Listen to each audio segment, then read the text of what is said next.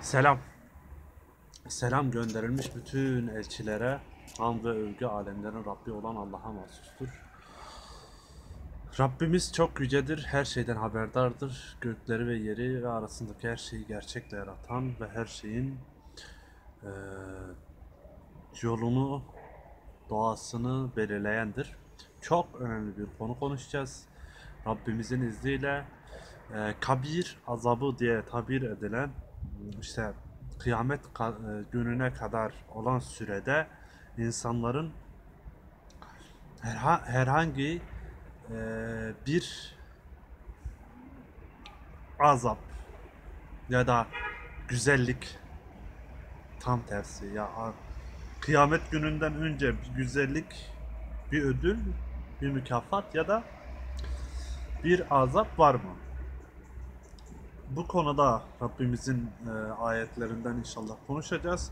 Öncelikle şundan bahsetmek istiyorum ki e, Kur'an'da kendilerine kesin bir e, delil gelmediği halde ayet Allah'ın ayetleri e, hakkında tartışanlar bakın kendilerine kesin bir bilgi, kesin bir ilim gelmediği halde Allah'ın ayetleri üzerinde tartışanlar asla tatmin edemeyecekleri bir kibir vardır onların kalplerinde.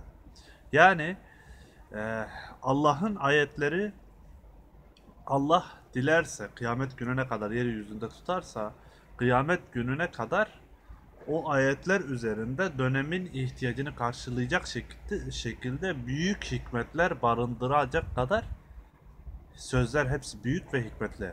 Yani eee, bir kimse 30 senede, 40 senede, 50 senede Kur'an üzerine bir çalışma yapsa, er noktasına kadar ezberlese, bilmem kaç senesini kelimeleri tanımaya verse dahi hiç kimse ama hiç kimse Allah'ın dilediğinden başka hiçbir ilme kavrayamayacağı, kavrayamayacağı kesinliği var elimizde. Allahu la ile e, Ayetül Kürsi'de bunu öğreniyoruz. Allah'ın dilediğinden başka hiçbir hiç, hiçbir ilminden miskal zerre dahi kavrayamayız. Yani bu noktada eee, sözde uzun seneler emek verdiğini söyleyip de Allah razı olsun kat kat Kur'an Allah yolunda mücadele eden eee, Allah'a davet eden ben Müslümanım diyen Allah rızası için samimi bir şekilde Allah'ın rızasını arzulayan kimselere Allah kat kat derecesini arttırsın, iyilikten payını kat kat arttırsın. Ee, bu noktada ne yazık ki çok üzülerek ee, görüyorum. Ee, belki birçoğumuz görüyoruz. Ee, değerli aslında Kur'an üzerinde değerli birçok fikre sahip bir kimselerin, bilgilere sahip kimselerin bütün ayetler neredeyse yani bir belki istisnai birkaç tane kendi içlerinde vardır ama gördüğüm kadarıyla neredeyse bütün ayetlere hükme bağlama konusunda tereddüt et, etmeyen kimseler var. Yani Kur'an'ı içerisinde benim anlayamayacağım işte e, bugün tıpkı geçmiş alimleri eleştiriyoruz bugün eleştiriyorsun Ee, işte şu konuda yanılmış, şu konuda eksik yapmış, şu konuda işte e, bu rivayet, şu ayeti işte e, hedef şaşırtıyor, şu işte nuzul sebebine şu ayeti bağlamak, ayete haksızlık etmektir, onu bir kısıtlamaktır gibi birçok haklı eleştiriler yapılıyor. Bunlar e, işte o dönemde nasıl ayeti tamamen e, inandıkları doğru doğru inandıkları şekilde yorumlayarak insanlara sundularsa bugün işte belli deliller ile bilginin gün geçtikçe e, çıkmasıyla artmasıyla tabiri caizse zamanın ilerlemesiyle Kur'an'ın daha da e, açılmasıyla Allah'ın bir vaadi olarak biz afakta ve enfüste ayetlerimizi göstereceğiz diyor. Böylece o hak olduğunu tamamen anlayacaklar. Ve bugün işte çok eskiden bariz bir şekilde inanılan bir ayetin yorumu, tefsiri bugün net bir şekilde bu yorum yanlıştır. İşte şu şu ayet şöyle yorumlanmalı. Eğer dediğin bir nokta varsa sen senden 30 sene sonra Allah ömür verirse 50 s- şey kıyameti koparmasa 50 sene, 40 sene, 60 sene, 100 sene, 1000 sene, 1 milyon sene Allah bilir kıyamet saatini. senden sonra ayetlerin daha da açığa çıkmayacağının garantisi var mı? Yok. Böyle düşünerek bizim ayetlere işte kesin hükmü ben veririm demek bir yanılgı değil mi? Nitekim bununla beraber ayetleri açıklarken Allah'ın sözleriyle konuşurken bununla bunu bu elbette çok değerli bir şeydir. Bu elbette ki dünyadaki en güzel şeydir. Dünyadaki konuşulması, herkes yapması gereken bir şeydir. Ama bu bir kibir sebebi oluyorsa eyvah. Bu bir kibir sebebi oluyorsa eyvah. Yani burada kendimizi beğenmek yerine tamamen eee mütevazi olmak bizim üzerimize düşendir. İşte bu noktada bizim eee, bunu neden paylaştım? Bugün eee, işte Kur'an'ın dinin kaynağı olduğunu ve bu tamamen karalanacak kadar, altı karalanacak ve mühürlenecek kadar net bir konudur. Dinin kaynağı Kur'an'dır, din Kur'an'dır, Kur'an dindir. Bu kimseler bu eee, bu görüşe e, da içerisinde dahil olan kimselerin e, bazı noktalarda haksızlık yaptıkları da görülüyor. Misal e, işte hmm, geçmiş kabir aba- azabı diye tabir ediliyor ama yani esasında e, halk arasında da işte kabire girdikten sonra bedenin bir türlü tarifata yol açması olarak biliniyor. Bu noktada bazı yanlış e, bilgilenme var.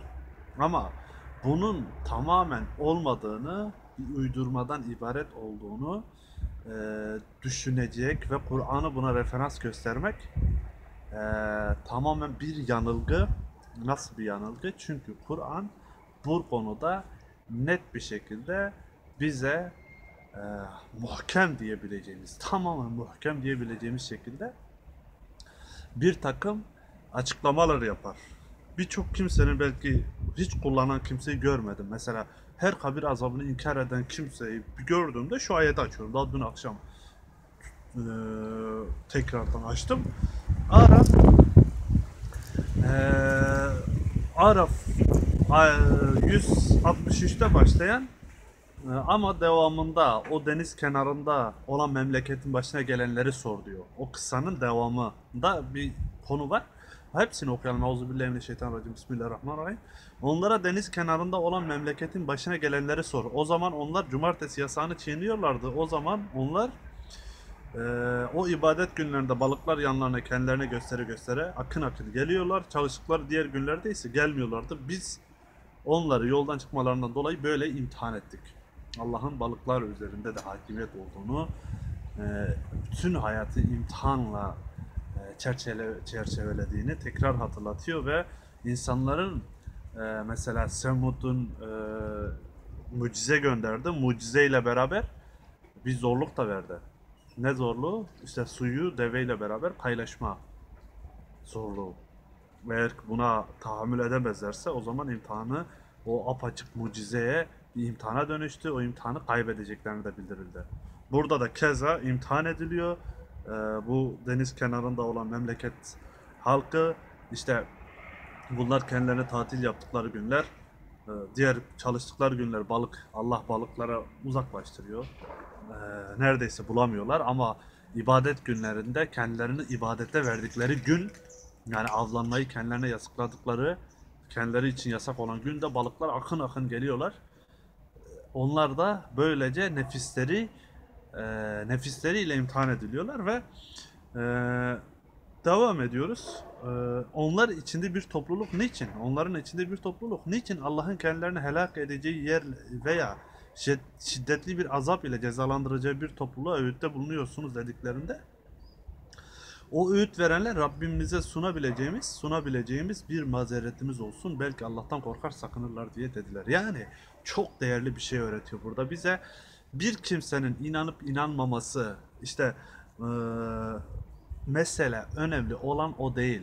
Önemli olan bir ben Müslümanım diyen bir kimsenin Allah'ın rızası için hakkı sırtlayıp e, taşımaya gayret ettiği etmediğidir. Yani sen hakkı konuşmak, tavsiye etmek, öğüt vermek Sen üzerine seni düşen odur. Onun kabul edip etmemesi seni ilgilendiren bir konu değildir. Belki öğüt alırlar diyor. Keza Firavun diyor ben Allah Hazreti Musa'yı gönderirken ona yumuşak söz sözle belki olur ki e, düşünür öğüt alır.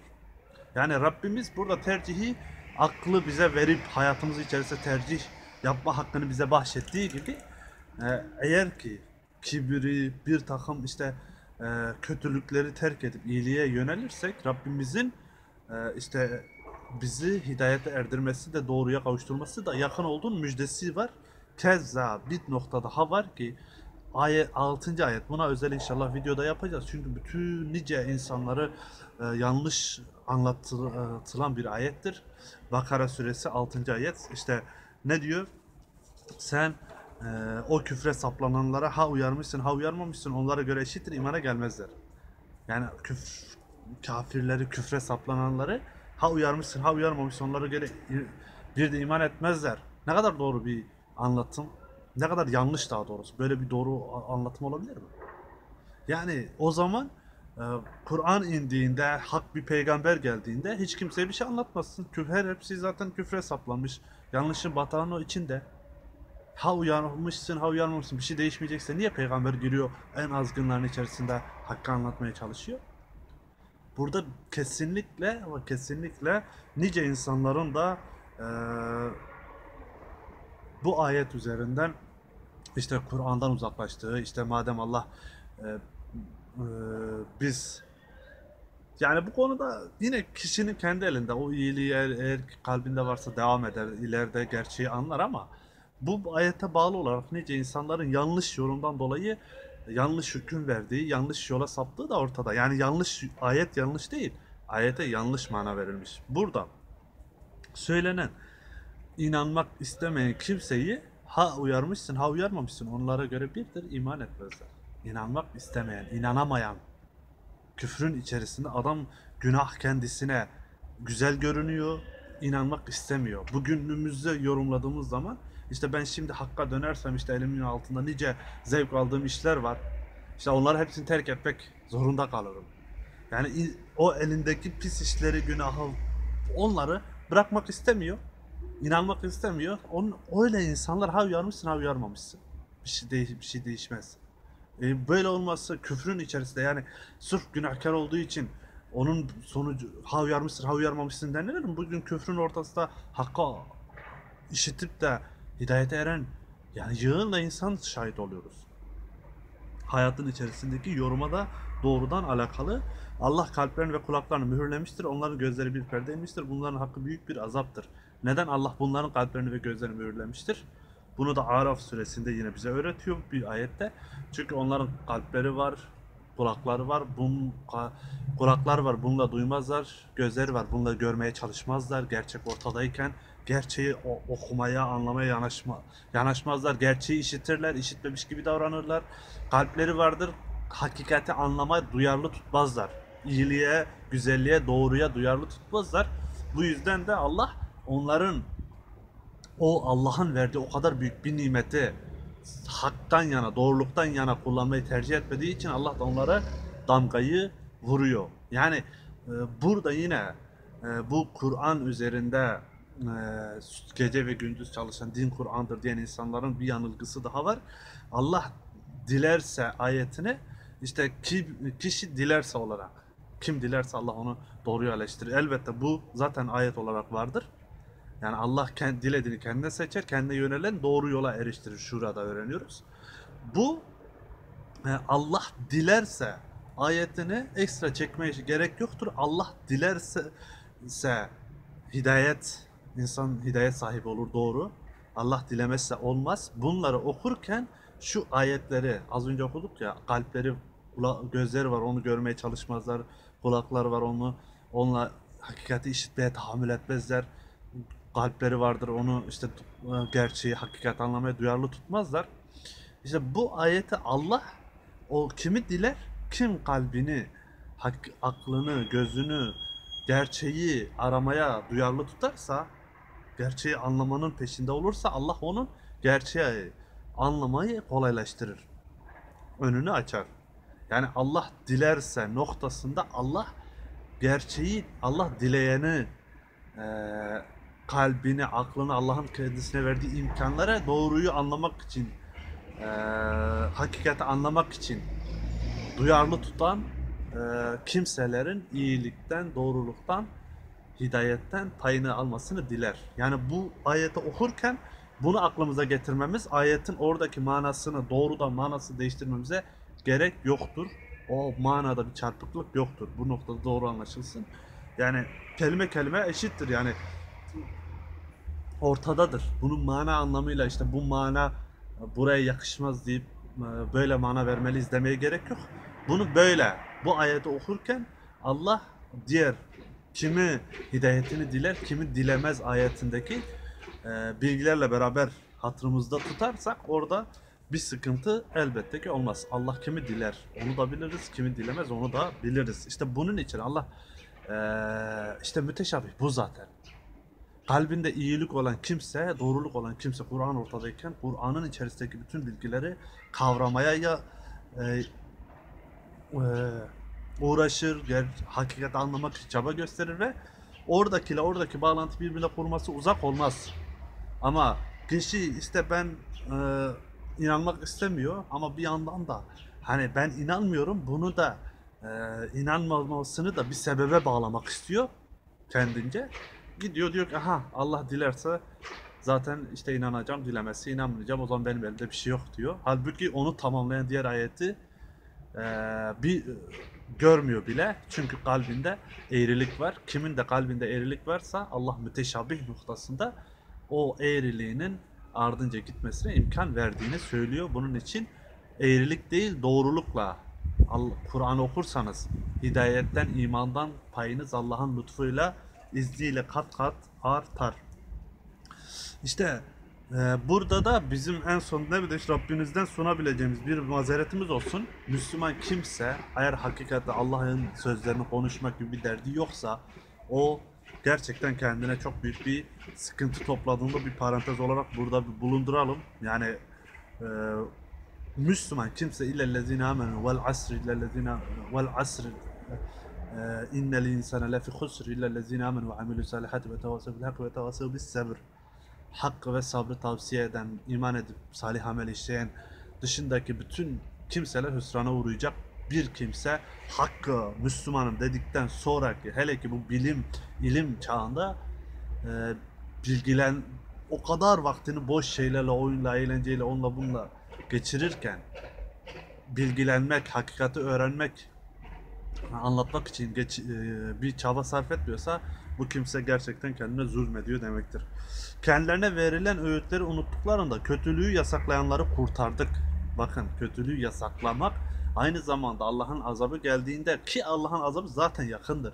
Ölüm yani Allah korusun eğer iyi kimselerden olmasak ölüm anından itibaren başlar sıkıntılar. İşte bu noktada kendilerine verilen öğütleri unuttuklarında kötülüğü yasaklayanları kurtardık. Yoldan çıkmalarından dolayı o zalimler de şiddetli bir azaba uğrattık yoldan çıkmalarından dolayı imtihan ediyordu Allah onları. O imtihanlara yenik oldular.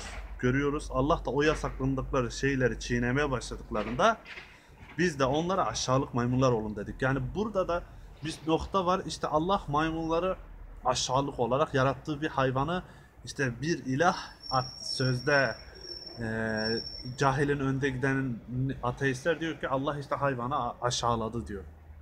Hayvanı aşağılamadı. Bakın Burada aşağılık maymunlar olun diyor. Maymun aşağılıktır demiyor. Maymundan da yani maymunun aşağılık versiyonu ol. İnsanın aşağılık versiyonu yok mu? Bugün pis işler yapan insanlara, çocuklara yataklık yapan nice pislikler içerisinde yüzen insanlar aşağılık değil mi? İşte maymunun da aşağılık ha- hali aşağılığı ol diyor. Burada maymuna aşağılıksın demiyor. Bu işte burada da kişinin kalbinde fitne olduğu için artık o kadar basit bir yerde şeytan onu aldatıyor ki resmen gülünç pozisyona düştüğünü dahi farkında değil ve bunun karşılığı öyle basit değil. Böyle bu dünya biteceği kesin olan, imtihan olduğu kesin olan bir dünyada sen Allah'ın işte haşa eksini bulmak için yola çıkarsan kendine göre bir şey bulursun ama o senin bulduğun senin kurtuluş zannettiğin gibi kurtuluş zeka biletin değil cehennem azap biletindir. Bunu dahi anlayacak durum bırakmasın kendinden. Rabbin o zaman kıyamete kadar onlara daima en kötü azabı yapacak kimseleri üzerlerine göndereceğini göndereceğim diye bildirmiştir. 167 Araf Rabbin o zaman kıyamete kadar onlara daima en kötü azabı yapacak kimseleri üzerlerine göndereceğim diye bildirmişti. Şüphesiz Rabbinin cezalandırması şiddetli olandır. Şüphesiz o çok bağışlayan, çok acıyandır. Yani Rabbin kıyamet gününe kadar en kötü azabı yapacak kimseleri üzerlerine göndereceğim diye bildirmişti. Kıyamet gününe kadar bir azabın kötüsünü en kötüsünü yapacak kimseleri üzerlerine göndereceğim diye bildirmişti. Şüphesiz Rabbin cezalandırması şiddetli olan. Yani bu kıyamet e, işte kabir noktasında e, bunun doğrudan işte bugün tamamen cesetleri kül olan kimselerin işte kabri yok. E, Bunların e, nasıl bir acısı olabilir? Bu noktada da çok önemli bir nokta var. E, Ölüm anından itibaren kişi iyiyse, iyiliyse ona sağın sana sağdakilerden selam var diyerek melekler üzerlerine iner size hiçbir korku üzüntü yoktur diyor. Müjdeyle karşılanıyor. Kişi kötüyse alnından işte ve sırtından melekler vura vura canlarını alırken halleri nasıl olacak diyor. Yani kişi de orada diyor ben bir şey yapmıyordum tepki veriyor. Niye işte ben bir şey yapmıyordum diye teslim oluyor. Melek de diyor hayır ne yaptın Allah çok iyi biliyor. Yani ölüm anından itibaren kişi Allah rızası doğrultusunda doğru yani sırat-ı müstakim ben Müslümanım deyip Allah'ın dost doğru yolu üzerinde gitme gayreti yoksa öyle bir niyetle yaşamamışsa hayatı o kişinin ölümünden başlayarak sıkıntılar onu buluyor. Hele ki o şirk üzere yaşamışsa bir hayatını asla Allah'ın affetmem dediği günah şirkle tamamlamışsa hayatını onun azabı zaten onun terazisi kurulmaz. Çünkü Allah'ın affedecek hiçbir tarafı yok. O doğrudan eee, ölüm anından itibaren şiddetli azaba maruz kalıyor. Burada eee, Allah diyor ki şuradaki Allah o canları öldükleri zaman alır. Ölmeyenleri de uykularında canları öldükleri zaman alır. Ölmeyenleri de uykularında. Bu tabii ki konuşulabilir üzerinde kelimeler üzerinde tartışılabilir anlam üzerinde ama şimdi buraya girmeyeceğim. Sonra haklarında ölüm hükmü verdiklerini alıkor. Ölüm hükmü verdiklerini alıkor. Yani Rabbimiz burada bir alıkoymaktan diğerlerini ise belirli bir süreye kadar serbest bırakır, salıverir. Belli bir süreye kadar salıverir. Şüphesiz bunda düşünecek bir topluluk için deliller vardır. Zümer 42 yani Allah bir baskı altında tuttuğunu da o kötülerin canlarını baskı altında tuttuğunu da burada söylüyor. Bu noktada bu hiçbir şekilde fiziksel olmasa dahi ruhun acı çekmesi, azap görmesi zaten bizim bir yerimizi uyuşturduğumuzda işte uyku halindeyken, rüyadayken çektiğimiz acılar bizim e, bizim için gerçekten bir farkı yok ki. O anda o acıyı yaşıyoruz, hissediyoruz. İşte böyle düşündüğümüz zaman o sıkıntının Allah'ın onu bir alı bir hapsetme hapsetme olayının alıkoymasının kabir olarak yorumlanması çok normaldi. Yani kabir noktası nedir? İşte orada alan dar, işte belli noktada dar bir alanda sıkışmış ve ona hiçbir rahatlık yok. Ve Allah ona çeşitli şekillerde kıyamet gününe kadar azabın kötüsünü yapacak kimseler üzerine göndereceğini söylüyor. Yani burada illa birebir bedenine fiziksel işte yılanlar, çıyanlar, onlar bunlar daldı acı böyle bir azaptır yaşamasına gerek yok. Yani bu buna gerek yok. Çünkü senin ruh meselesi olay artık ölümden bu bedenin işte bu bedenle biz bu dünyada imtihan olunuyoruz. Yas- Yaptıklarımıza göre bir e, birikimimiz oluyor. Bu bedenle işimiz bitiyor bundan sonra. Ölüm dirilene dirildiğimizde artık bu kılıkta değil belki farklı bir kılıkta belki yani mesele beden değil zaten. Ama mesele ölüm anından itibaren kıyamet gününe kadar bir zorluğun olduğu garantisi var. Bunu yokmuş gibi hesap gününden önce hiç kimseye hiç miskale zerre bir kötülük gelmeyecekmiş gibi e, lanse etmek hiçbir mantığı doğruluğu yok. Nitekim o kimseler işte ruh e, anlamında bir sıkıntının olabileceğini olduğunu söylüyorlar. Söyleyen de var. Hiç olmadığını söyleyen de var ama kıyamet gününe kadar azabın kötüsünü, azabın e, en daima en kötü azabı yapacak kimseleri üzerine göndereceğim diyor. Yani en kötü azap, Allah'ın en kötü dediği, kötü bir azaba maruz bırakılacak dediği noktada işte bu bedenden bir azap olmayacak. Onun için rahat oluruz. Yani hiçbir rahat tarafı görünmüyor. Kötü azap, Allah'ın kötü dediği bir şeye, kötü bir azap vardır dediği bir şeye eee, yokmuş gibi davranmak. İşte asıl eee, hiçbir karı yoktur. Eee, bunu toparlamış olalım Allah'ın izniyle. Yani kabir azabın noktasında ruhun eee, tamamen bir baskı altında Allah tarafından alıkonması ve kötü bir azaba maruz bırakılması apaçık bir şekilde kıyamet gününden önce eee, bir takım kimselerin yaşayacağı bir durum olduğunu Kur'an bize açık bir şekilde, muhkem bir şekilde söylüyor. İşte o Firavun ailesi olayına girmiyor. O konuda çok muhtelif olaylar var. Oraya girmeye dahi gerek yok. Yani Firavun için de bu geçerli. Bedeninin işte örnek veriyorum gözümüzün önünde Allah'ın vaadi e, vaat ettiği haliyle bedenimizi bedeni bizim üzerimizde olmasının bir önemi yok ki. Mesele ruh zaten. Ruh noktasında da işte fiziksel bir acı gibi olmadığını düşünmek problem diyorum. Bah- bahsetmek istediğim konu o. Bütün mesele zaten ruhun, bizim ruhumuz acı çekiyor. Bizim ruhumuz burada. İşte uy- e, uyuduğumuzda, bir şey olduğunda, ruh bedene çıktığında bedenimize istediğin kadar acı yap. Onda bir şey yok ki.